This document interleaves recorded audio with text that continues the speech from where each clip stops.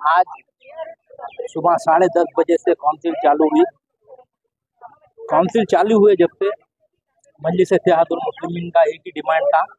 जो कि हमारे सदर मोहतरम नकीमुल्ला तलाज बैरिस्टर असदुद्दीन अवती साहब ने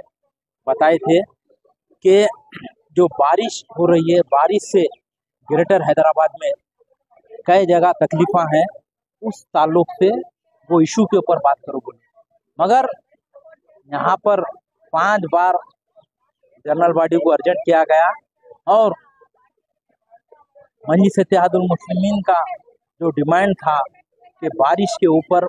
जो शहर के हालात जिस तरीके से आप देखिए बड़े बड़े मेजर नालों के काम रुके हुए हैं, मुर्गी नालों के काम रुके हुए हैं और ट्रैफ़िक का मसला बहुत बड़ा है। तो इस ताल्लुक से हमने डिमांड भी किए थे कि आप इस इशू पर बात करिए बोलकर। मगर यहाँ पर आए जब से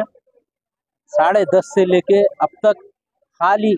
वो पार्टी, ये पार्टी, खाली अपने पार्टीबाजी करते हुआ वो लोग अपना अपना डिमांड कर रहे थे। मगर कोई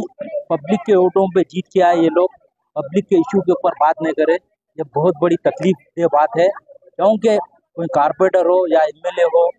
ये लोग आवाम के वोटों से जीत के आते हैं। यहाँ पर इतना बड़ा जनरल बॉडी में डिस्कशन करने का था कि यहाँ पर ग्रेटर हैदराबाद में किस तरीके से तकलीफ़ है और वो वो इशू के ऊपर बात नहीं करके पॉलिटिकल कर रहे थे, उसके ऊपर मनी से मुस्लिम भी यहाँ पर डिमांड करी है कि आप लोग इस तरीके से करने से नहीं होगा। पब्लिक की आप खिदमत करिए पब्लिक के इशू पे बात करिए बोलते मनी से मुस्लिम बताइए।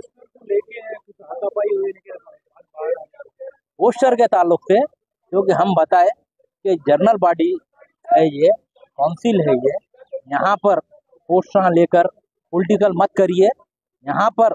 पब्लिक के इशू के ऊपर बात करिए, बोलकर मंजी से मुस्लिम बताइए